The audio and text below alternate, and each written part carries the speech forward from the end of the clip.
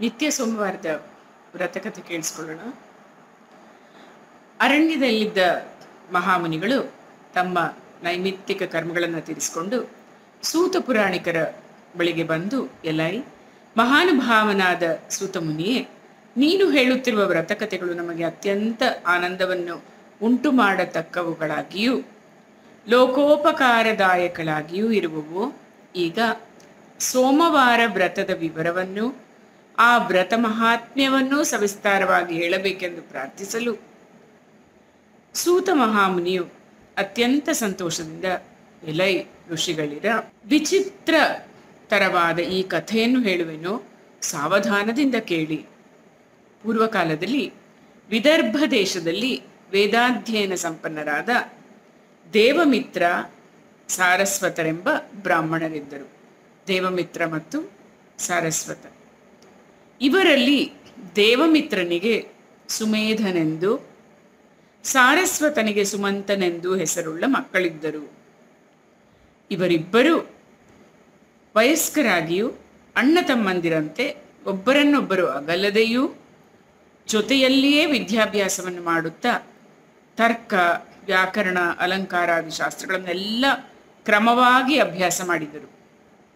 ಇವರಿಗೆ ಪ್ರಾಪ್ತ ವಯಸ್ಸಾಗಲು ತಮ್ಮ ಪ್ರಭುವಾದ ವಿದರ್ಭರಾಜನಲ್ಲಿಗೆ ಹೋಗಿ ತಮ್ಮ ವಿದ್ಯೆಯಿಂದ ಆತನನ್ನು ಮೆಚ್ಚಿಸಿ ವಿವಾಹವಾಗಲು ದ್ರವ್ಯವನ್ನು ಕೊಡಿಸಬೇಕೆಂದು ಕೇಳಿದರು.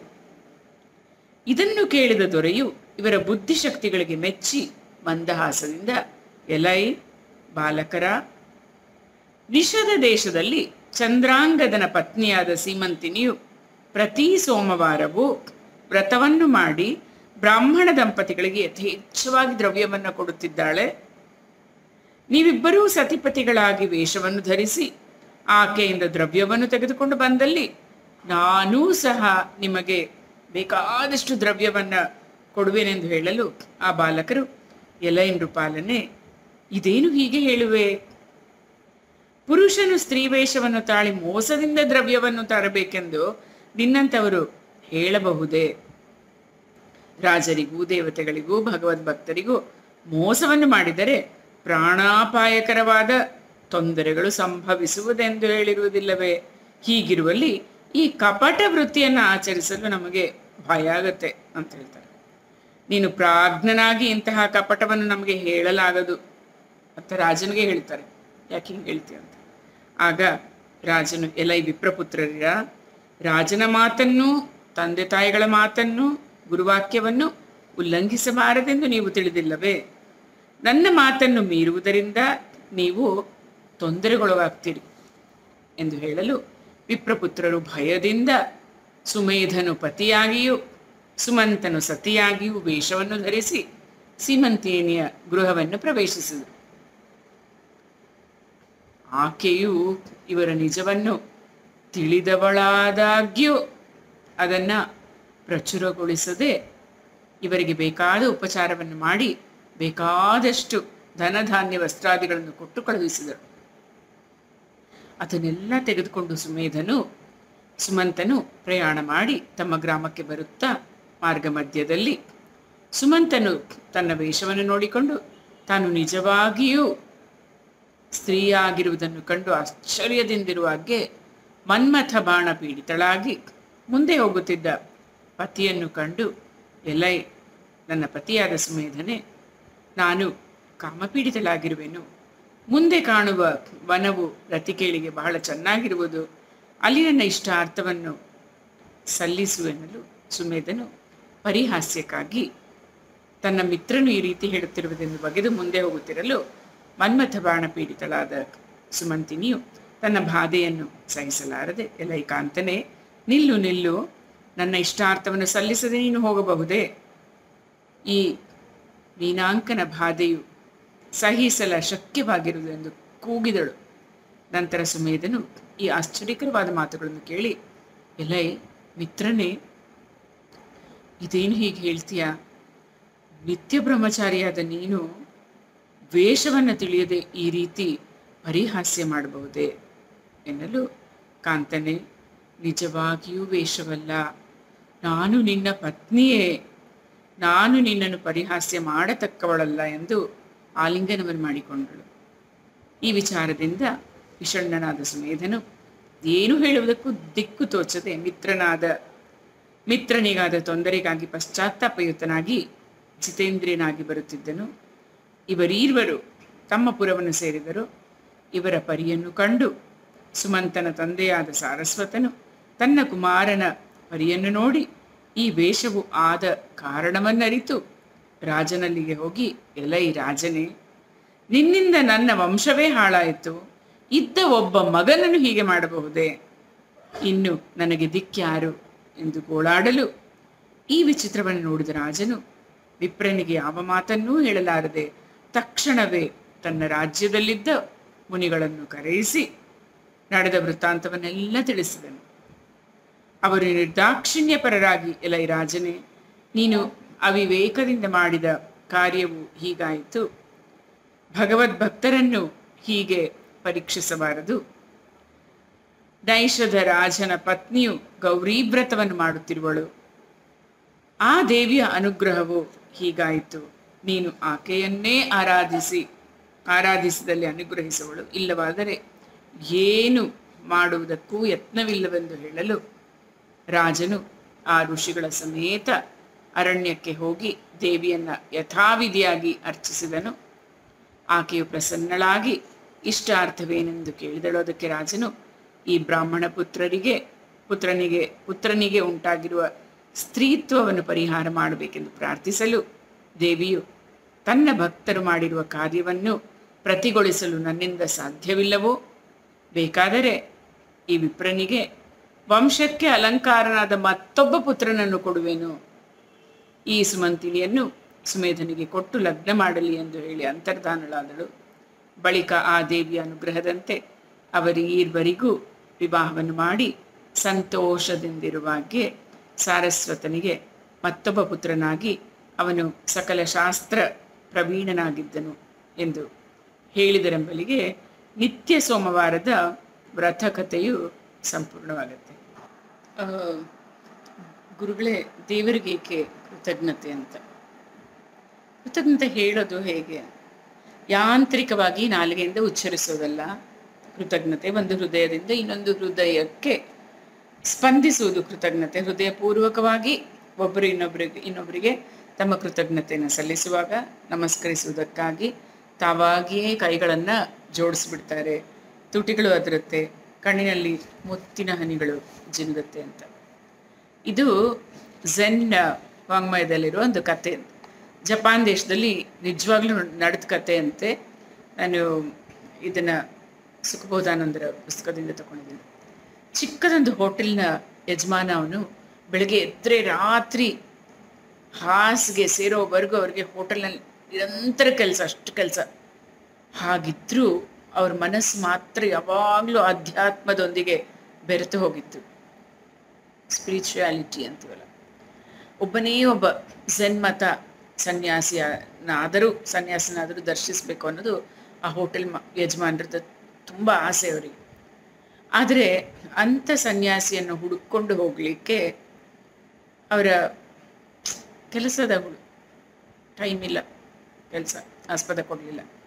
ಹೋಟೆಲ್ ಯಜಮಾನರ ಆಸೆ, ಆಕಾಂಕ್ಷೆ ಅಲ್ಲಿನ ಕೆಲಸಗಾರರಿಗಷ್ಟೇ ಅಲ್ಲ, ಗಿರಾಕಿಗಳು ಕೂಡ ಗೊತ್ತಿತ್ತು. ಯಾರ್ಯಾರು ಬರ್ತಾ ಇದ್ರಲ್ಲ ಹೋಟೆಲಲ್ಲಿ? ಊಟ ಮಾಡಲಿಕ್ಕೆ, ತಿಂಡಿ ತಿನ್ನಲಿಕ್ಕೆ ಕಾಫಿ ಕುಡಿಲಿಕ್ಕೆ ಅಂತ. ಜನ್ ಸನ್ಯಾಸಿಗಳು, ಇತರ ಮತ ಸನ್ಯಾಸಿಗಳ ಹಾಗೆ ಕಾವಿ ಉಡುಪನ್ನು ಅಥವಾ ಮಠದ ಸ್ವಾಮಿಗಳಂತ ಒಂದು ಪ್ರತ್ಯೇಕ ಉಡುಪನ್ನು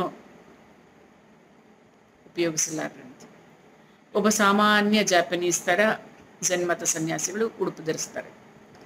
ಅದರಿಂದ ಜೈನ್, ಝೆನ್ ಮತ್ತು ಸನ್ಯಾಸಿಗಳು ಯಾರು, ಸಾಮಾನ್ಯ ಜನರು ಯಾರು ಅಂತ ಪ್ರತ್ಯೇಕಿಸೋದು ಸಪ್ರೇಟ್ ಮಾಡೋದು, ನೋಡೋದು ಕಷ್ಟ ಅಂತ. ಒಂದಿನ ಯಥಾ ರೀತಿ ಹೋಟೆಲ್ ಯಜಮಾನರು ಹೂ ಬಿಡಲಾಗ ಅಂದರೆ ಅಷ್ಟು ಕೆಲಸ. ಬಿಸಿ ಬಿಸಿ ಬಿಸಿ ಬಿಸಿ ಬಿಸಿ ಬಿಸಿ ಬಿಸಿ ಅಂತ, ಬಿಸಿ ಅಲ್ಲ ಬಿಸಿ. ಹೀಗಿದ್ರೂ ಸಹ ಮಧ್ಯ ಮಧ್ಯ ಕೆಲ ನಿಮಿಷ, ಕೆಲ ನಿಮಿಷಗಳು ಅವರು ಒಮ್ಮೆ ಅವರು ಹೋಟ್ಲಲ್ಲಿ ಯಾರು ತಿಂತಾ ಇದ್ದಾರೆ ಏನು ತಿಂತಾ ಇದ್ದಾರೆ, ಏನು ಮಾಡ್ತಾ ಇದ್ದಾರೆ ನೋಡಿ ಆ ಥರ. ನಾವು ಈ ಕ್ಯಾಮ್ರಾ ಕಣ್ಣು ಅಂತೀವಲ್ಲ, ಆ ಥರ ಗಮನಿಸೋದು ಅವರ ಅಭ್ಯಾಸ. ಆ ದಿನವೂ ಸಹ ಅದೇ ಥರ ಯಜಮಾನ್ರು ತಿಂಡಿ ತೀರ್ಥ ಯಾರ್ಯಾರು ಸ್ವೀಕರಿಸ್ತಾ ಇದ್ದಾರೆ ಅಂತ ಅವ್ರ ಮೇಲೆಲ್ಲ ಅವ್ರ ಸುತ್ತ ಎಲ್ಲ ನೋಡಿ ಕಣ್ಣು ಹಾಯಿಸಿದ್ರು. ಅಲ್ಲೊಂದು ಕಡೆ ಇಬ್ರು ಟೀ ಕುಡಿತಾ ಕೂತಿದ್ರು. ಯಜಮಾನ್ರಿಗೆ ಅವರಿಬ್ಬರನ್ನ ನೋಡಿ ಉತ್ಸಾಹ ತಡೆಯೋಕೆ ಆಗಲಿ. ನಾನು ಇಷ್ಟು ವರ್ಷ ನೋಡಬೇಕು ಅಂದ್ಕೊಂಡಿದ್ನಲ್ಲ ಜನ್ ಸನ್ಯಾಸಿಗಳು, ಕೊನೆಗೆ ನನ್ನ ಹೋಟ್ಲಿಗೆ ಬಂದ್ಬಿಟ್ರಲ್ಲ ಅಂತ ತುಂಬ ಖುಷಿ, ಉತ್ಸಾಹ, ಸಂತೋಷ. ಆ ಕಡೆ ಓಡ್ ಹೋಗ್ತಾರಂತೆ. ಟೀ ಕುಡಿತಾ ಇದ್ದ ಇಬ್ಬರು ಜನ್ ಸನ್ಯಾಸಿಗಳೇ ಹೋದಾದ್ರಿಂದ ಅವರು ಹೋಟೆಲ್ ಯಜಮಾನರ ಉತ್ಸಾಹ ನೋಡಿ ಅವರನ್ನು ತಮ್ಮ ಶಿಷ್ಯನನ್ನಾಗಿ ಸ್ವೀಕರಿಸ್ಕೊಂಡ್ರು. ತಮ್ಮ ಮಗನಿಗೆ ಇವರು ಹೋಟೆಲ್ನ ಆಡಳಿತನ ಒಪ್ಪಿಸಿ ಜೈನ್ ಸನ್ಯಾಸಿಗಳ ಹಿಂದೆ ಯಜಮಾನರು ಹೊರಟೇ ಬಿಟ್ರು. ಆಗ ಅಲ್ಲಿದ್ದವರೆಲ್ಲ ಇವ್ರನ್ನ ಕೇಳಿದ್ರು, ಇವರಿಬ್ರು ಜೈನ್ ಸನ್ಯಾಸಿಗಳು ಅಂತ ನಿಮ್ಗೆ ಹೆಂಗೆ ಗೊತ್ತಾಯ್ತು? ನಾವು ಹೇಳಿದ್ವಿಲ್ಲ, ಸಾಮಾನ್ಯ ಎಲ್ರ ಥರನೇ ಉಡುಪು ಧರಿಸ್ಕೊಂಡಿರ್ತಾರೆ, ಅದು ನೀ ಹೆಂಗೆ ಕಂಡಿಡ್ದೆ? ಅಂತ. ಸನ್ಯಾಸಿಗಳ ಹಿಂದೆನೇ ಹೆಜ್ಜೆ ಹಾಕ್ತಾ ಇದ್ದ ಯಜಮಾನರು ಹೇಳ್ತಾರೆ, ಇವರಿಬ್ರು ಟೀ ಕುಡಿತಾ ಇದ್ರ ಟೀನ ಆಸ್ವಾದಿಸ್ತಾ ಇದ್ರಲ್ಲ, ಆಗಲೇ ನಾನು ಗುರ್ತು ಹಿಡಿದ್ಬಿಟ್ಟೆ. ಮರ್ಯಾದೆಯಿಂದ ಎರಡೂ ಕೈಗಳನ್ನು, ಎರಡೂ ಕೈಗಳಿಂದ ಟೀ ಕಪ್ಪನ್ನು ಹಿಡಿಯುವುದರಿಂದ ಹಿಡಿಯೋದ್ರಿಂದ ಹಿಡಿದು ಅದನ್ನು ಧನ್ಯತಾ ಭಾವದಿಂದ ಪ್ರೀತಿಯಿಂದ ಸ್ವೀಕರಿಸೋವರೆಗೂ ಅವರು ತಮ್ಮ ಕರುಣಾಭಾವವನ್ನು ಬಿಂಬಿಸಿದ್ರು ಅಂತ ನೋಡಿ, ಪ್ರತಿಬಿಂಬಿಸಿದ್ರು. ಅಷ್ಟು ಖುಷಿಯಾಗಿ ಲೋಟ ತಗೊಂಡ್ರು. ಒಂದೊಂದೇ ಸಿಪ್ನ ಆಸ್ವಾದಿಸ್ತಾ ಕರುಣಾಭಾವದಿಂದ ಕುಡಿದ್ರು ಅಂತ. ಈ ಮಾಜಿ ಹೋಟೆಲ್ ಯಜಮಾನರು, ಅನಂತರ ತಾವೇ ಒಬ್ಬ, ನೋಡಿ, ಹೆಂಗೆ ಗುರುತಿಸ್ತಾರೆ ಅಂತ. ನಂತರ ತಾವೇ ಒಬ್ಬರ ಒಬ್ಬರು ಝೆನ್ ಸನ್ಯಾಸಿ ಆಗೋಗ್ತಾರಂತೆ ಅವರು.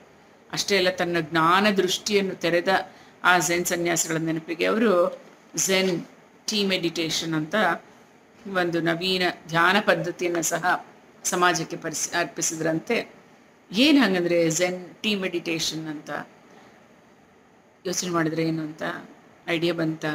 ಕರೆಕ್ಟ್ ಒಂದು ಕಪ್ಪು ಟೀಯನ್ನು ಸಹ ಧನ್ಯತಾ ಭಾವದಿಂದ ಆಸ್ವಾದಿಸಿ, ಅನುಭವಿಸಿ ಅನುಭವಿಸಿದ ಆನಂದದಲ್ಲಿ ಕುಡಿದು ಮುಗಿಸೋದೆ ಝೆನ್ ಟೀ ಮೆಡಿಟೇಷನ್ ಈಗೆಲ್ಲ ಬಿಸಿ ನೀರು ಕುಡಿರಿ ಅಂತ ಹೇಳ್ತಾ ಇರ್ತೀವಲ್ಲ, ಅಷ್ಟೇ ಸಾಕು.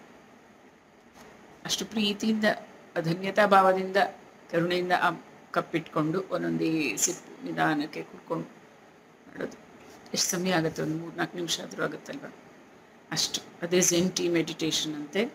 ಜಪಾನ್ ದೇಶದಲ್ಲಿ ಝೆನ್ ಟೀ ಉತ್ಸವ ಅಂತ ಈಗಲೂ ಸಹ ನಡೆಯುತ್ತೆ. ಈ ಉತ್ಸವದಲ್ಲಿ ಆ ನಾಡಿನ ಮಕ್ಕಳು ಒಂದು ಸಾಧಾರಣ ಟೀನ ಎರಡೂ ಕೈಗಳಲ್ಲಿ ತೆಗೆದುಕೊಂಡು ಧನ್ಯತಾ ಭಾವದಲ್ಲಿ ಉಕ್ಕಿ ಹರಿಯುವ ಪ್ರೀತಿಯಿಂದ ಹೃದಯಾಂತರಾಳದ ಕೃತಜ್ಞತೆ ಕಾಣಿಸುವಂತೆ ಸ್ವೀಕರಿಸ್ತಾರೆ.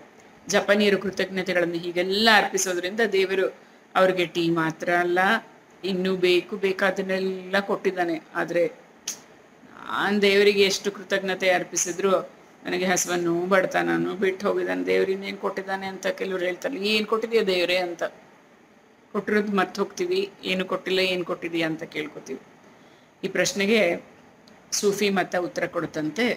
ಸೂಫೀಸ್ ಅಂತ ಒಬ್ಬ ಶಿಷ್ಯರ ಜೊತೆ ಒಂದು ಕಾಡಿನ ಮಾರ್ಗ, ಕಾಡಿನಲ್ಲಿ ಪ್ರಯಾಣ ಮಾಡ್ತಾ ಇದ್ದ.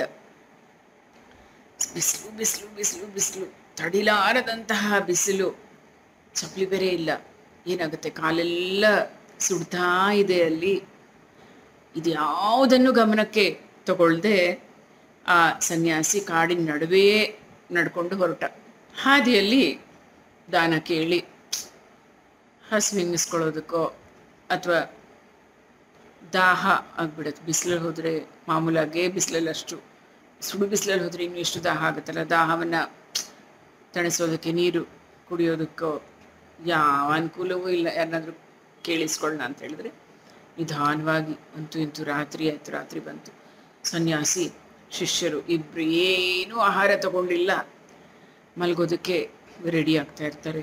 ಆಗ ಆ ಸೂಫಿ ಸನ್ಯಾಸಿ, ಓ ದೇವರೇ, ನೀನು ಇವತ್ತು ನನಗೆ ಕೊಡಮಾಡಿದ ಎಲ್ಲದಕ್ಕೂ ನಿನಗೆ ಕೃತಜ್ಞತೆಗಳು. ಓ ದೇವರೇ ನೀನು ಇವತ್ತು ನನಗೆ ಏನೇನು ಕೊಟ್ಟಿಲ್ಲ, ಎಲ್ಲದಕ್ಕೂ ಕೃತಜ್ಞತೆಗಳು ಅಂತ ಜೋರು ಧ್ವನಿಯಲ್ಲಿ ಬಾಯಿ ಬಿಟ್ಟು ಪ್ರಾರ್ಥನೆ ಮಾಡ್ತಾನೆ.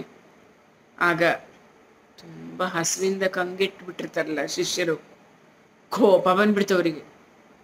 ಕೋಪವನ್ನು ಬಿಟ್ಕೊಂಡು ಗುರುವನ್ನ ಕೇಳ್ತಾರೆ, ದೇವರು ಇವತ್ತು ನಮ್ಗೆ ಏನನ್ನೂ ಕೊಟ್ಟಿಲ್ಲ, ಆದರೂ ನೀವು ದೇವರಿಗೆ ಕೃತಜ್ಞತೆಗಳು ಅಂತ ಪ್ರಾರ್ಥನೆ ಮಾಡಿಬಿಟ್ರಲ್ಲ, ಅದರ ಅರ್ಥ ಏನು ಗುರುಗಳೇ ಅಂತ. ಸೂಫಿ ಸಂತ ಮುಗಳು ನಗುತ್ತಾ ಹೇಳ್ತಾನಂತೆ. ದೇವ್ರು ಇವತ್ತು ನಮಗೆ ಏನನ್ನು ಕೊಡಲಿಲ್ಲ ಅಂತ ಯಾರು ಹೇಳಿದ್ದು? ತನ್ನ ಮಗುವಿಗೆ ಏನು ಕೊಡ್ಬೋದು, ಏನು ಕೊಡಬೇಕು, ಯಾವುದು ಬೇಡ ಅನ್ನೋದೆಲ್ಲ ದೇವ್ರಿಗೆ ಗೊತ್ತು. ದೇವರು ನಮಗಿವತ್ತು ಹಸಿವನ್ನು ಕೊಟ್ಟಿದ್ದಾನೆ. ಅವನು ಏನು ಮಾಡಿದ್ರೂ ಸರಿಯಾಗಿ ಮಾಡ್ತಾನೆ. ಅದಕ್ಕಾಗಿ ಅವನಿಗೆ ಕೃತಜ್ಞತೆ ಹೇಳಿದೆ ಅಂತ ಹೇಳ್ತಾರಂತೆ. ಇದು ದೇವರಿಗೆ ನಾವು ಯಾಕೆ, ಯಾವಾಗ, ಹೇಗೆ ಕೃತಜ್ಞತೆ ಹೇಳಬೇಕು ಅಂತಲ್ವ? ಕೆಲವರಾದರೂ ಥ್ಯಾಂಕ್ಸ್ ಗಿವಿಂಗ್ ಅಂತ ಮಾಡ್ತಾರೆ. ನಾವೆಲ್ಲ ಕೊಡು ಕೊಡು ಕೊಡು ಕೊಡು ಕೊಡೋದು ಭಗವಂತ ಅದು ಕೊಡು, ಇದು ಕೊಡು ಇದು ಕೊಡು ಅಂತೀವಿ. ಕೊಟ್ಟ ಮೇಲೆ ಥ್ಯಾಂಕ್ ಯು ಗಾಡ್ ಅಂತೀವ. ಧನ್ಯನಾ ಅದೇ ನೀನು ಕೊಟ್ಟಿದ್ದಕ್ಕೆ ಅಂತ. ಅದನ್ನು ಸ್ವಲ್ಪ ಮರ್ತೇ ಹೋಗುತ್ತಲ್ವಾ? ಆ ಥರ ಇದು ದೇವರಿಗೆ ಹೇಗೆ ಕೃತಜ್ಞತೆ ಸಲ್ಲಿಸಬೇಕು ಅಂತ ಒಂದು ಚಿಕ್ಕ ನಿದರ್ಶನದ ಮೂಲಕ ತಿಳಿಸ್ಕೊಟ್ಟಿದ್ದಾರೆ. ओम साईराम सचिदानंद सदगुरु साईनाथ महाराज की जय। समर्थ सदगुरु साईनाथ महाराज की जय। सचिदानंद सदगुरु साईनाथ महाराज की जय।